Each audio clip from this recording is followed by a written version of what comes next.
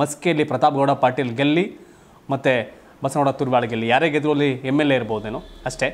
ಆದರೆ ಇದು ಘಟಾನುಘಟಿ ನಾಯಕರ ಹಣೆ ಬರವನ್ನು ಬರೆಯುವಂಥ ಚುನಾವಣೆ ಆಗಿದೆ. ಆದರೂ ಮೇ ಎರಡರ ನಂತರ ದೇಶದಲ್ಲಿ ಕೋವಿಡ್ ಮತ್ತಷ್ಟು ಜಾಸ್ತಿ ಆದರೆ ಯಡಿಯೂರಪ್ಪ ಬೀಸೋದೊಣ್ಣೆಯಿಂದ ಪಾರಾಗ್ತಾರೆ. ಕಾಂಗ್ರೆಸ್ ಗೆದ್ರೆ D K Shivakumar and Siddaramaiah ಮತ್ತಷ್ಟು ಮುಸುಕಿನ ಗುದ್ದಾಟ ಜಾಸ್ತಿ ಆಗುತ್ತೆ. ನಾನ್ ಸಿ ಎಮ್ಮು ನಾನ್ ಸಿ ಎಮ್ಮು ಅಂತ ಹಾಯ್ ಹಲೋ ನಮಸ್ಕಾರ. ಕರ್ನಾಟಕ ಟಿವಿಗೆ ಸ್ವಾಗತ. ನಾನು ಶಿವಕುಮಾರ್. ಇವತ್ತು ಮಸ್ಕಿ ಬಸವ ಕಲ್ಯಾಣ ಬೆಳಗಾವಿಯಲ್ಲಿ ಮತದಾನ ಆಗ್ತಾ ಇದೆ. ಮೂರು ಕ್ಷೇತ್ರಗಳ ಬೈಲೆಕ್ಷನ್ ನಡೀತಿದೆ.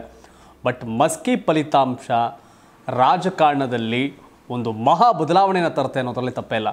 ಏನು ಶಿವ, ಮಹಾ ಬದಲಾವಣೆ ಅಂತ ಇದ್ದೀರಿ? ರಾಜ್ಯದಲ್ಲಿ ಕೊರೋನಾ ವೇಗವಾಗಿ ಸ್ಪ್ರೆಡ್ ಆಗ್ತಿದೆ. ಈ ಟೈಮಲ್ಲಿ ರಾಜಕಾರಣದ ಬದಲಾವಣೆ ಅಂತ. ಖಂಡಿತವಾಗಿ ರಾಜ್ಯ ರಾಜಕಾರಣದಲ್ಲಿ ಮಸ್ಕಿ ಒಂದು ಫಲಿತಾಂಶ ಮಾತ್ರ ಬದಲಾವಣೆಗೆ ಕಾರಣ ಆಗುವಂಥ ಸಾಧ್ಯತೆ ಇದೆ.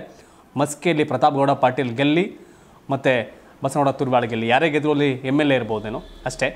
ಆದರೆ ಇದು ಘಟಾನುಘಟಿ ನಾಯಕರ ಹಣೆ ಬರವನ್ನು ಬರೆಯುವಂಥ ಚುನಾವಣೆ ಆಗಿದೆ.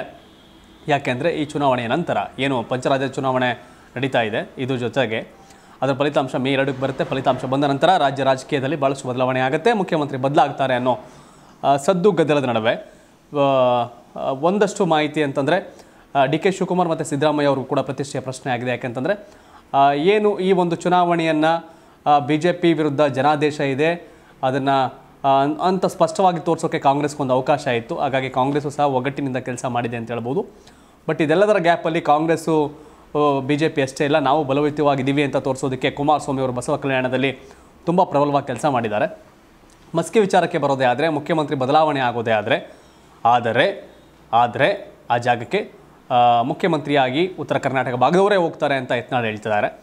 ಆದರೆ ಆರ್ ಎಸ್ ಎಸ್ ಮತ್ತು ಬಿ ಜೆ ಪಿಯ ಮೂಲಗಳ ಪ್ರಕಾರ ಅಚ್ಚರಿಯ ವ್ಯಕ್ತಿ ಮುಖ್ಯಮಂತ್ರಿ ಸ್ಥಾನಕ್ಕೆ ಇರುವಂಥ ಸಾಧ್ಯತೆ ಇದೆ. ಆದರೆ ವಿಜಯೇಂದ್ರ ಗಟ್ಟಿಯಾಗಿ ಮಸ್ಕಿಯಲ್ಲಿ ಕೂತಿದ್ದಾರೆ. ಏನು, ಇದುವರೆಗೂ ಶಿರಾ ಮತ್ತು ಕೆ ಆರ್ ಪಟ್ಟೆ ಗೆಲ್ಸ್ಕೊಂಡಾಗ ಹೈಕಮಾಂಡ್ ಮಟ್ಟದಲ್ಲಿ ಸೌಂಡ್ ಮಾಡಿರೋ ಸತ್ಯ. ಆದರೆ ಮಸ್ಕಿ ಚುನಾವಣೆಯಲ್ಲಿ ಏನಾರ ಸೋತಿದ್ರೆ ವಿಜಯೇಂದ್ರ ಅವರ ಮುಂದಿನ ನಡೆಗೆ ಕಷ್ಟ ಆಗೋದು. ಬಟ್ ಮಸ್ಕಿ ಚುನಾವಣೆಯನ್ನು ಗೆಲ್ಲಲೇಬೇಕು ಅಂತ ವಿಜಯೇಂದ್ರ ಕೂತಿದ್ದಾರೆ. ಗೆದ್ದರೆ ಏನು, ತಂದೆಯ ಸ್ಥಾನ ಬದಲಾವಣೆ ಆದರೆ ವಿಜಯೇಂದ್ರ ಅವರಿಗೆ ಬಹುದೊಡ್ಡ ಒಂದು ಪೊಸಿಷನ್ ಸರ್ಕಾರದಲ್ಲಿ ಸಿಗುವಂಥ ಸಾಧ್ಯತೆ ಇದೆ. ಅಂದರೆ ಅದು ಡಿ ಸಿ ಎಂ ಆಗ್ಬೋದು ಇನ್ನು ಬೇರೆ ಸಚಿವ ಸ್ಥಾನ ಆಗ್ಬೋದು. ಇಂತಹ ಒಂದು ಅವಕಾಶ ವಿಜಯೇಂದ್ರ ಅವರಿಗೆ ಸಿಗುವಂಥ ಸಾಧ್ಯತೆ ಇದೆ. ರಾಜ್ಯದಲ್ಲಿ ಇಷ್ಟೆಲ್ಲ ಕಷ್ಟ, ಕೋಟಿಲಗಳ ನಡುವೆ ಸರ್ಕಾರ ಅಂದರೆ ಮುಖ್ಯಮಂತ್ರಿ ಸ್ಥಾನವನ್ನು ಬದಲಾವಣೆ ಮಾಡುತ್ತಾ ಅನ್ನೋ ಪ್ರಶ್ನೆ ಎದುರಾಗತ್ತೆ. ಆದರೂ ಸಹ ಬಿ ಜೆ ಪಿಯಲ್ಲಿ ಕೊರೋನಾಗಿಂತ ಬಿ ಜೆ ಪಿ ನಾಯಕರಿಗೆ ಕೊರೋನಾ ಈ ಎಲ್ಲ ಬದಲಾವಣೆಗಳನ್ನ ಅಂದರೆ ಜನಗಳ ಕಷ್ಟಗಳನ್ನ ನೋಡೋಕ್ಕಿಂತ ನಾಯಕತ್ವ ಬದಲಾವಣೆ ಮಾಡಲೇಬೇಕು ಅಂತ ಒಂದು ವರ್ಗ ನಿಂತಿದೆ. ಈ- ನ್ಯೂಸು ಅಂತಂದು ಹೇಳಿದ್ವಲ್ಲ ರಾಜಕೀಯ ಬದಲಾವಣೆ ಅಂತಲೇ ಈಸಿಯಾಗಿ ಆಗ್ಬಿಡಲ್ಲ. ಯಡಿಯೂರಪ್ಪನೂ ಈಸಿಯಾಗಿ ಬಿಟ್ಕೊಡುವಂಥ ಮನುಷ್ಯ ಅಲ್ಲ.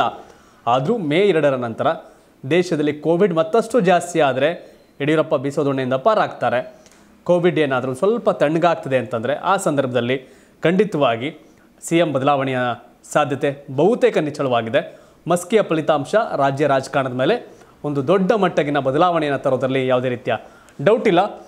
ಎಸ್ ವೀಕ್ಷಕರೇ ಬಿ ಜೆ ಪಿ ಗೆದ್ರೆ ವಿಜಯೇಂದ್ರ ಸೇಫ್ ಯಡಿಯೂರಪ್ಪ ಒಂದು ಹಂತಕ್ಕೆ ಸೇಫ್ ಓ, ಅಂದರೆ ವಿಜೇಂದ್ರ ಸೇಫ್ ಆಗ್ತಾರೆ. ಯಡಿಯೂರಪ್ಪ ಸೇಫ್ ಬಗ್ಗೆ ಏನು ಕೂಡ ಗ್ಯಾರಂಟಿ ಇಲ್ಲ. ಅದು ಸಾಧ್ಯನೂ ಕೂಡ ಇಲ್ಲ. ಕಾಂಗ್ರೆಸ್ ಗೆದ್ರೆ D K Shivakumar and Siddaramaiah ಮತ್ತಷ್ಟು ಮುಸುಕಿನ ಗುದ್ದಾಟ ಜಾಸ್ತಿ ಆಗುತ್ತೆ. ನಾನ್ ಸಿ ಎಮ್ಮು ನಾನ್ ಸಿ ಎಮ್ಮು ಅಂತ. ಬಟ್ ಸೋತ್ರೆ, ಇಬ್ರಿಗೂ ಸಹ ಬಹುದೊಡ್ಡ ಹೊಡ್ತ ಅಂತ ಹೇಳೋದ್ರಲ್ಲಿ ಯಾವುದೇ ರೀತಿಯ ಡೌಟ್ ಇಲ್ಲ. ಇನ್ನು ಕಾಂಗ್ರೆಸ್ ವಿಚಾರಕ್ಕೆ ಬರೋದಾದರೆ ಬಸವ ಕಲ್ಯಾಣ ಗೆಲ್ಲಲೇಬೇಕು ಬಿಕಾಸ್ ಆಫ್ ಸಿದ್ದರಾಮಯ್ಯ, ಪಕ್ಕಾ ಶಿಷ್ಯ ನಾರಾಯಣರಾವ್. ಆದರೆ ಅಲ್ಲಿ ಕುಮಾರಸ್ವಾಮಿ ಗಟ್ಟಿಯಾಗಿ ಕೂತು ಕಾಂಗ್ರೆಸ್ಸನ್ನು ಸೋಲಿಸುವ ಒಂದು ಗೇಮನ್ನು ಆಡ್ತಾ ಇದ್ದಾರೆ. ತಾನು ಗೆಲ್ಲಬೇಕು, ಕಾಂಗ್ರೆಸ್ನ ಸೋಲಿಸಬೇಕು ಬಿ ಜೆ ಪಿಗೂ ಪಾಠ ಕಲಿಸ್ಬೇಕು ಅಂತ ಕುಮಾರಸ್ವಾಮಿ ಕೂತಿದ್ರಲ್ಲಿ. ಏನಾದರೂ ಒಂದು ವೇಳೆ ಬಸವ ಕಲ್ಯಾಣದಲ್ಲಿ ಜೆ ಡಿ ಎಸ್ ಗೆದ್ದರೆ ಕಾಂಗ್ರೆಸ್ ಮತ್ತು ಬಿ ಜೆ ಪಿಗೆ ಬಹುದೊಡ್ಡ ಒಂದು ಸಂದೇಶ ರವಾನೆ ಆಗುತ್ತೆ. ಇನ್ನು ಬೆಳಗಾವಿ ವಿಚಾರಕ್ಕೆ ಬಂದರೆ ಸತೀಶ್ ಜಾರಕಿಹೊಳಿ ಒಂದು ರೀತಿ ಕಾರ್ಯಾಧ್ಯಕ್ಷರಾದರೂ ಚುನಾವಣೆಯಲ್ಲಿ ಗೆಲ್ಲಿಲ್ಲ ಅನ್ನೋ ಒಂದು ನೆಗೆಟಿವ್ ಅಂಶ ಇರುತ್ತೆ ಅವ್ರಿಗೆ. ಗೆದ್ದರೆ ರಾಜ್ಯ ರಾಜಕಾರಣ ಬಿಟ್ಟು ರಾಷ್ಟ್ರ ರಾಜಕಾರಣಕ್ಕೆ ಹೋಗಬೇಕಾಗತ್ತೆ. ಈ ಒಂದು ಸನ್ನಿವೇಶ ಇದೆ. ವೀಕ್ಷಕರೇ ಎಸ್ ನಿಮ್ಮ ಪ್ರಕಾರ ಮಸ್ಕಿಯಲ್ಲಿ ಯಾರು ಗೆಲ್ತಾರೆ? ಬೆಳಗಾವಿಯಲ್ಲಿ ಯಾರು ಗೆಲ್ತಾರೆ? ಬಸವ ಕಲ್ಯಾಣದಲ್ಲಿ ಯಾರು ಗೆಲ್ತಾರೆ? ನಿಮ್ಮ ಅಭಿಪ್ರಾಯವನ್ನು ಕಾಮೆಂಟ್ ಮಾಡಿ ತಿಳಿಸಿ. ಹಾಗೆಯೇ ರಾಜ್ಯದಲ್ಲಿ ಮುಖ್ಯಮಂತ್ರಿ ಬದಲಾವಣೆ ಆಗ್ತಾರಾ? ಆಗಬೇಕಾ? ನಿಮ್ಮ ಅಭಿಪ್ರಾಯವನ್ನು ಮಿಸ್ ಮಾಡದೆ ಕಾಮೆಂಟ್ ಮಾಡಿ. ಇದು ಕರ್ನಾಟಕ ಟಿವಿ ಕನ್ನಡಿಗರ ಧ್ವನಿ.